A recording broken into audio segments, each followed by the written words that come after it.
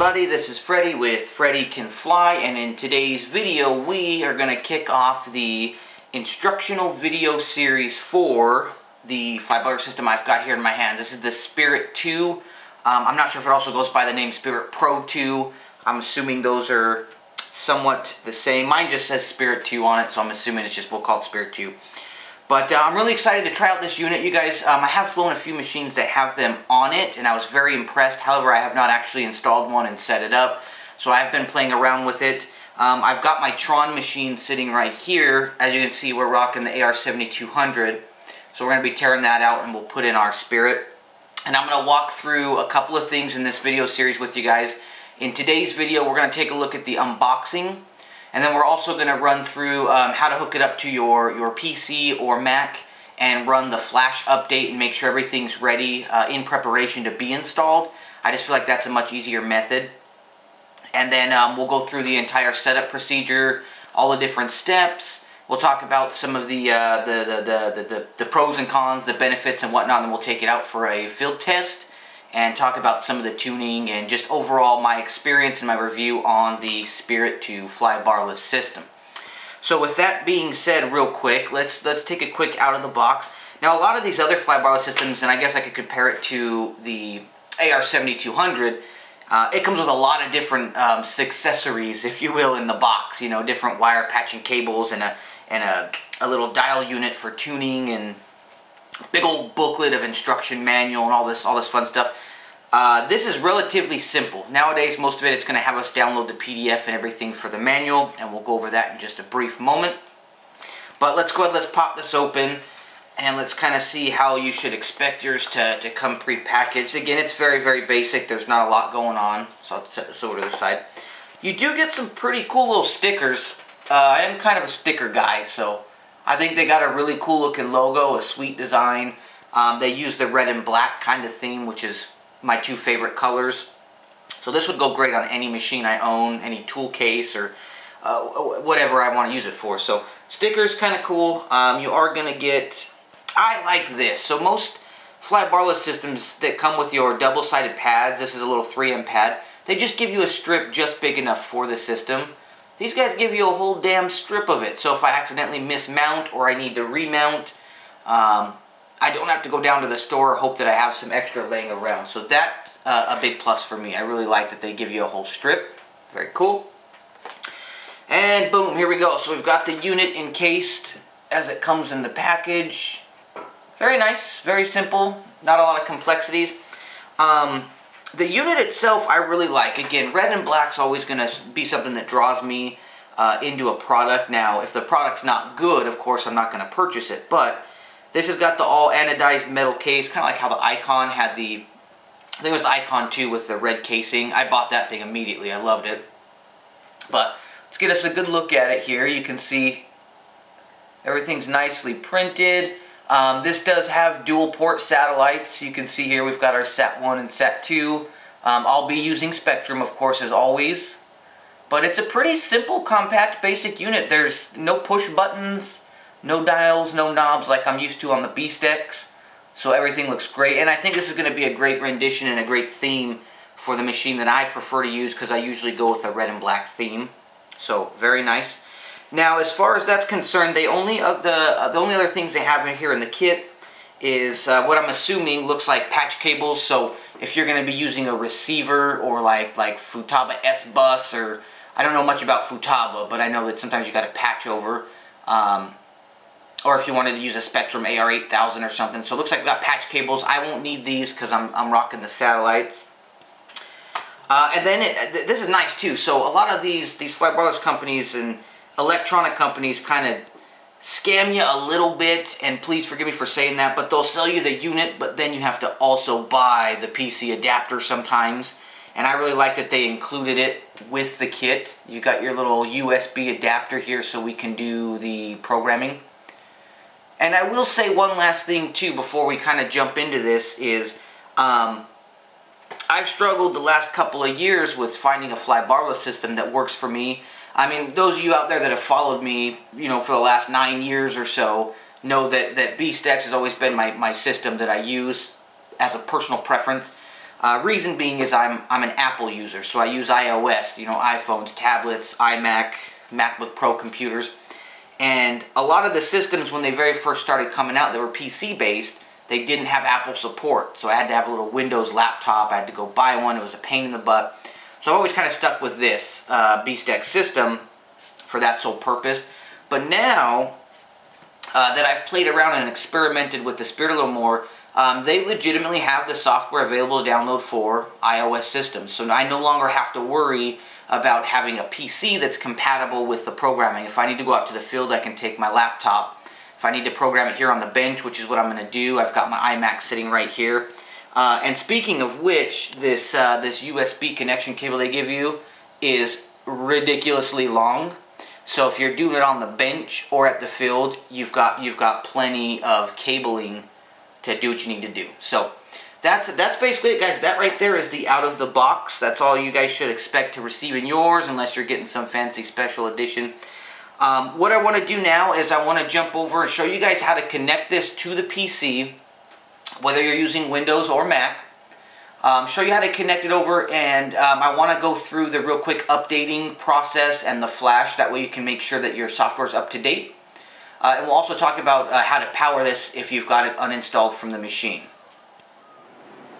Okay you guys so jumping over to the very first step that I'd like to do um, before I install the system into my machine is I want to go through make sure it's up to date I just felt like this was a little bit easier for me to do and also it gives me time to download the, the software and everything. So you can see here on the screen that I've went to spiritsystem.com. It's going to be their website. And uh, what we'll do is we will jump over here to the, the downloads tab and we'll go into helicopters. Now this is going to give you a couple of different options. You'll see here we've got software.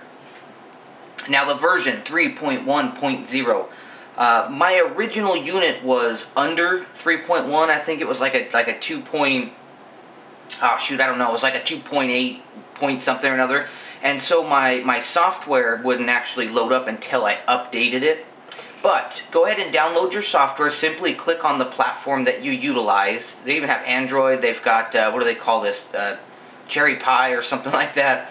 Um, and then they've got your your iOS and your Windows, right? So I downloaded my iOS one go ahead and feel free to, to get that done now. You can play around with it if you need to, but it won't really launch unless it detects the system. So get that done. And then if we go over here to firmware, right, it's going to be version 3.1.0. Go ahead and download that too, but it's going to be like a flash. So uh, if you try to open it, it usually, at least on, on my um, iOS, it said that there was no apps available to open it. I was a little confused. However, when we open up the software, I'll explain to you guys how to do that. Uh, and then also for all medicinal purposes here, you can download the PDF. Oh, there you go. Mine was 2.7.1 when I got it. Um, but the online version here they've got is 3.1.0. So you can do different languages and whatnot. And we'll be going through this manual together as we also complete the setup steps, okay? So I just wanted to make sure you guys understood. Come here first, um, get everything done, get everything ready to go.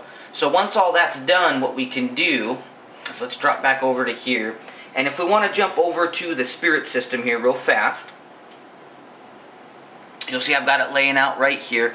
Now, um, I'm going to go ahead, let's, let's pop out our little cable here, and because we're going to be playing around with that. Now, one thing you will want to do also is I've provided just a little two-cell LiPo pack. It's a pulse pack, I think it's like a 500 milliamp, just two cell. We can plug it straight in because the unit can handle the voltage. I think it goes up to 8 volts, so we're good there. Uh, I'm going to be plugging it into just a, an available auxiliary port, so I'll be using, uh, what is it, AUX2. I'll just be plugging this into AUX2 to provide power. Um, important to notate is here on the side, as always guys, make sure that your plug pin orientations are correct. You want to get the positive, negative, and signal. So signal is going to basically be your top bar. So if I plug this in, I basically want black facing down. But you'll notice if I plug it in, right now I just yield a blue light nothing fancy, but we're not plugged into the PC yet. So um, let me get this connected, right? So what I'm going to do with this, uh, the patch cable, is if you look at the face of the Spirit here, you'll notice the, the, the very top one where it says SYS, I'm assuming means system.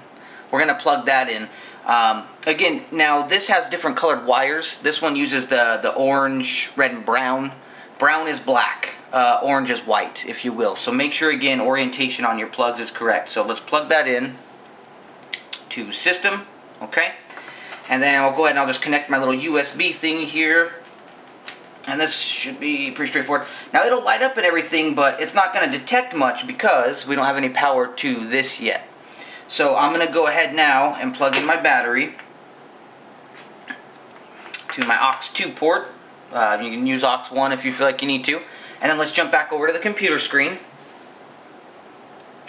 And what I'm going to do here is I'm going to open up the Spirit Settings app that I just downloaded. Now, when you very first open yours, if you have not yet completed the update, you might see an error message that says, please update, or it might say that it's not compatible, please update, something along those lines, what have you. It'll still let you get into this situation here, but it'll say not connected, and it'll tell you your version, it'll tell you your serial number. Now what you're going to want to do at that point, if you have not yet updated your, uh, your, your unit, as you'll come along uh, the top here, you've got all your tab settings. Just simply go to update. And it confused the heck out of me for a few minutes. It took me a while to figure all this out. But um, it's going to say right here that it wants you to select the firmware, um, which is what we already downloaded. Uh, in my case on iOS, I couldn't actually open the file. But you have to actually just go right down here. You go to select.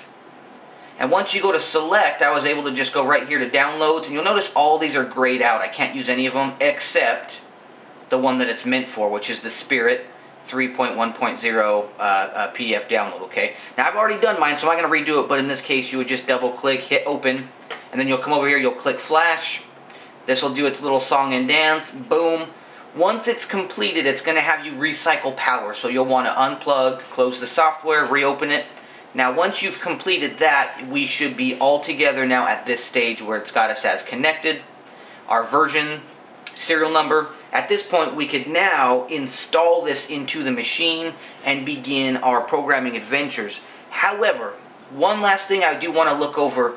Um, like most systems, they have factory settings and defaults that in some cases could potentially be hazard to your current setup based upon what you're using. What I mean by that is mainly servos. Um, for example, let's jump in and just kind of look at a couple of just a couple of quick things let's see. We don't need to worry about anything in this menu yet. Diagnostics this will be for our radio calibration and things uh, we don't need to worry about servos here we go. Um, you want to make sure that your frequencies and your pulse settings are not going to cause any damage to your servos. Uh, if you don't know what your pulse values and frequencies are uh, in hertz you can go uh, if you get online and go to BeastX servo menu or uh, how does that list that? Let's, let's go check it out real quick. If you get online, let's go Beast X Servo Chart. Let's do Servo Chart, I think it is. Um, but they've got an entire list of, of all the different servos, makes, and models. And then it'll also give you, yeah, here we go. So um, let's say I'm using, what am I using? I'm using a BK servo on mine. So go down, let's see, Logitech, Mini Servo. I think they've got BK updated on here. But um, even if they don't, you guys just, just search around for your servo specs, make sure everything is the way it needs to be. And then what I'm going to do before I plug in my servos and provide power, I don't want to risk any damage. So, um, I know that my cyclic servos are 760, and I know that my tail servo is, I want to say mine was 762. I'm going to double, triple check all those values. But, but make sure you guys check yours, okay? And then also your frequencies. A lot of them nowadays are going to be, you know, 333, especially cyclics. Rudders can fluctuate between 200 and 333. But if it's a high-end model, feel free to do so. But get that done, right? Just set those. We don't need to worry about things like limits for now, sensory directions.